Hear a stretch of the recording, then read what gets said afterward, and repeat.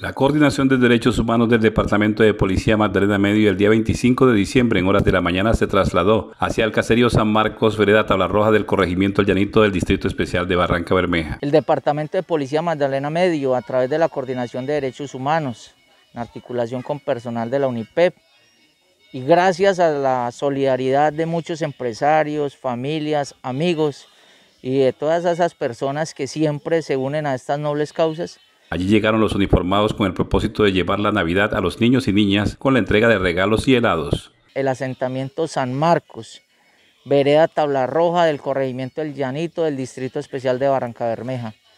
Un asentamiento de población víctima del conflicto reubicada en esta zona de Barranca Bermeja.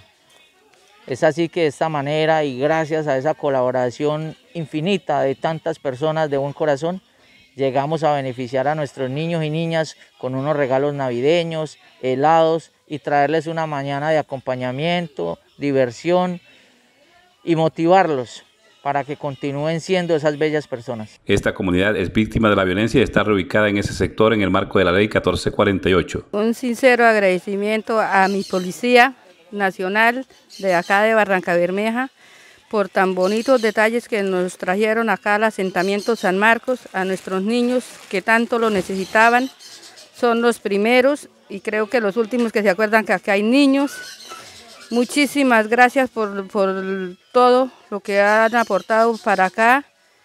Espero que sigan acordándose de nosotros. La actividad fue posible gracias al apoyo de comerciantes y familias de buen corazón de Barranca Bermeja.